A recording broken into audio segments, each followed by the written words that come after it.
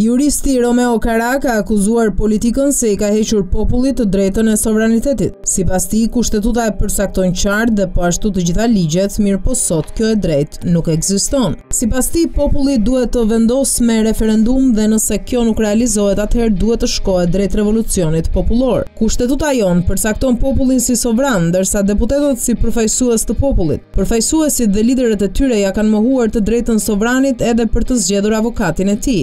Sipas çdo kodi nëpër botë, qoftë ai civil apo penal, i përfaqësuari ka të drejtën absolute për të zgjedhur përfaqësuesit e tij dhe në mënyrë eksplicite avokatin e tij. Këtij populli ia kanë rrëmbyer sovranitetin pikërisht përfaqësuesit e tij. Tani, pikërisht tani, të gjitha çështjet të çojnë tek ky sovranitet i mohuar dhe i vjedhur dhe të gjitha çështjet mund të marrin zgjidhje vetëm nëpërmjet referendumeve popullore, të përgjithshme apo lokale ose në të kundërt revolucioni bëhet zgjidhja e vetme, shkruan juristi në rrjetet sociale.